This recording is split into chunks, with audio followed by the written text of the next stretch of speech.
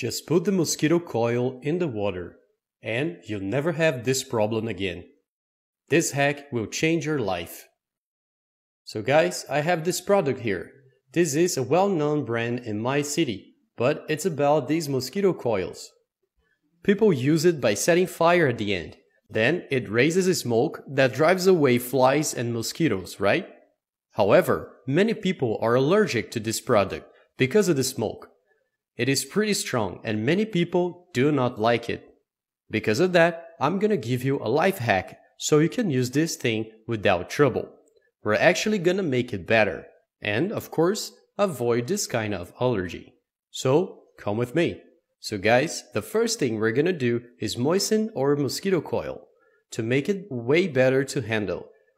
So just go ahead and put it under the tap. After this, let's take a bowl and break into little pieces like this. Do it with the whole coil. You're gonna break it just like this. Chunks of that size are great. Okay, after this, now you're gonna need alcohol, alright? I'm using 46% but you can use any other. So I'm gonna put here in the bowl 7 ounces of alcohol. Let me put it here. 7 ounces of alcohol. And last but not least, you're gonna need cloves. If you didn't know, cloves are an excellent natural repellent, folks. It has a substance called eugenol that keeps all kinds of flies away, and especially mosquitoes. So go ahead and add about a handful or so. So put it here now go ahead and mix everything really well.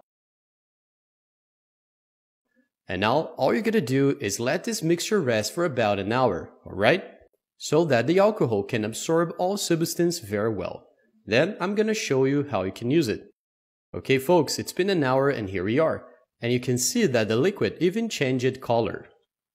And now to use it, all you're gonna do is place this container in its strategic place in your home. In places you notice, flies and mosquitoes love to hang around. Here at home, for example, I like to keep it near windows. And this is really amazing, folks. It really gets rid of all flies and mosquitoes, especially now in hot seasons. So guys, I really like this hack because it's very efficient and easy. And you can also do the following in case you have an ant problem in your house. You can get a spray bottle like this one. Get a funnel too, you're gonna need this. Then go ahead and add our mixture in. For this, you'll also need a sieve, so it won't clog your spray bottle. Just go ahead and pour all the liquid to the spray bottle. Make sure to close it. Now you can apply it where you see ants in your house, like this little corner here in mine. They always appear right here. So I take this mixture that we made and I spray a little bit here in these corners. That's all I gotta do to get totally rid of those little ants. So folks, that was today's tip. It's very effective and pretty easy to make.